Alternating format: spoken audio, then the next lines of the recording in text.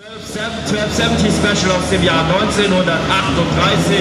Detlef Bock sitzt da am Steuer und dann ein ganz besonderes, sehr interessantes Auto aus dem Jahre 1936. Dieser rauchig klingende Sechszylinder, 1,5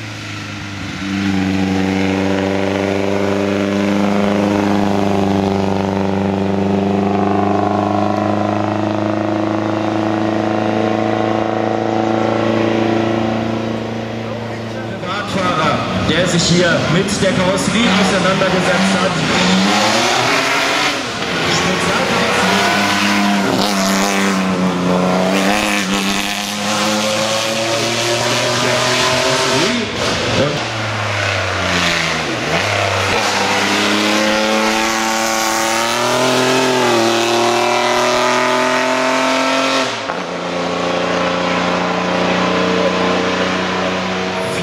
...4,5 Liter Hubraum, toller Sound.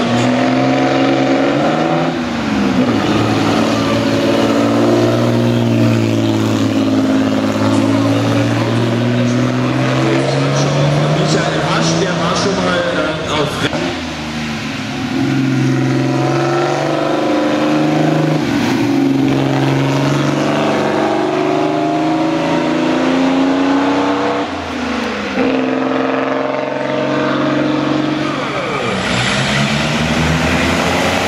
Also ein sehr leistungsfähiger ganz anderen aussieht.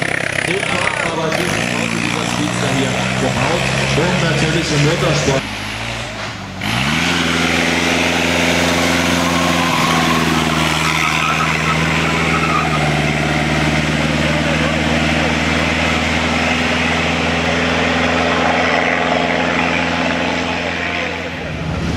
Rainer Polkert sitzt am Steuer und der hat jetzt schlanke 35 PS zur Verfügung, um hier den Berg hinaufzufahren.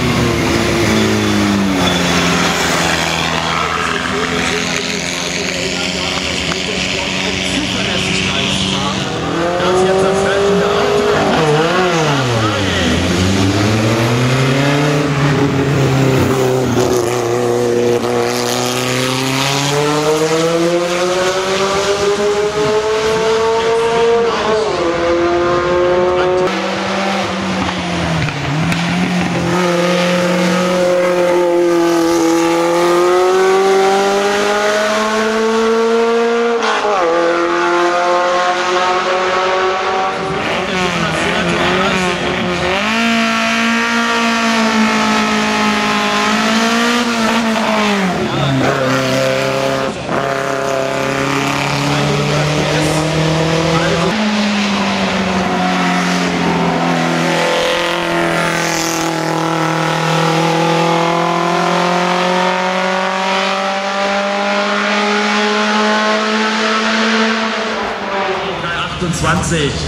Aber eine Interpretation aus den 50er Jahren hier. Start bei Uli Metscher am Steuer dieses 28 gebaut worden ist. Leistet in dieser Version 135 PS.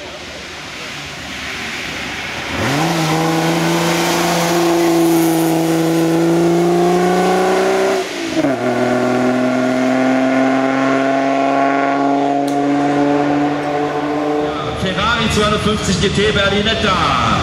Sean Base, Oswald Weiß unterwegs mit dem Auto aus dem Jahre 1961. Das Fahrzeug, viele Ferraris in der GT-Kategorie hier auch unterwegs. Startnummer 49, da kommen wir zu 50. Startnummer 50.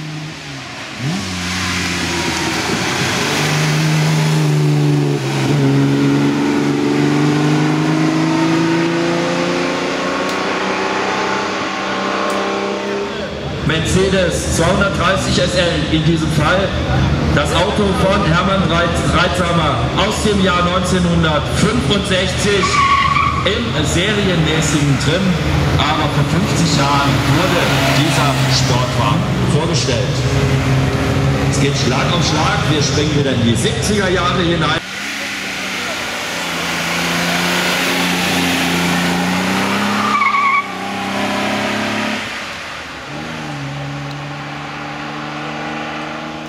Hier 1956 gebaut. Das Auto von Horst Keil, direkt ein Spritzer, 6 Zylinder, 3 Liter Hubraum, 215 PS. Viel wichtiger, eine Atem. So, da begrüßen wir mit der Startnummer 4. Der ist nicht rechtzeitig.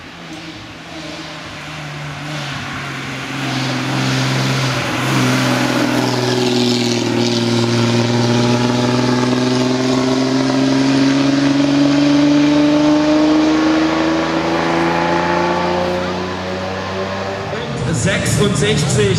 Und wer von Ihnen vielleicht das Vergnügen hatte, beim Goodwood Revival Meeting dabei zu sein in England, der hat ein, hat sich jedenfalls und sich nicht einig. In einer Form, das ist jetzt leid von diesem Italiener.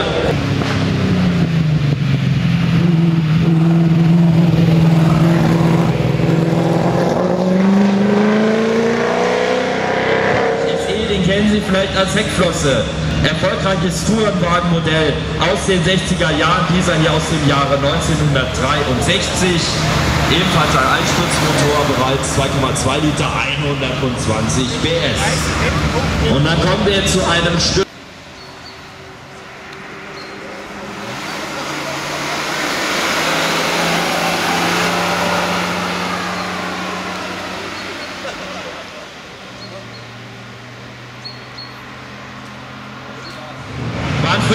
Ganz ungeduldig in diesem Auto aus dem Jahr 1964. 1,3 Liter Motor, 75 PS. Gerhard Boden war sicherlich der berühmteste der Piloten mit diesem Glas hier und als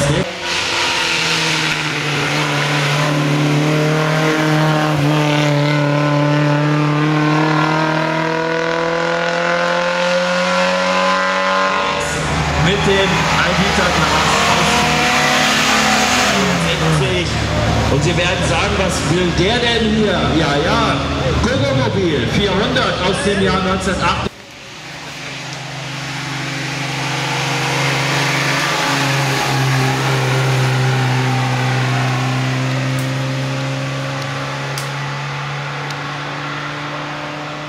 Solchen Auto erfolgreich war,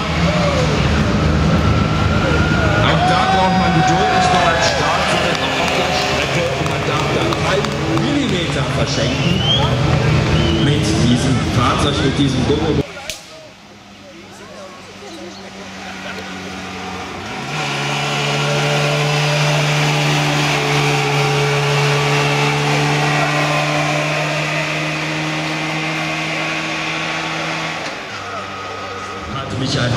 zur Verfügung. Jacqueline Polkert wartet jetzt mal mit 7 PS mehr auf, dann sind wir bei 27. Und beim Renault 4 CV aus dem Jahre 1956. Und dann kommen wir zur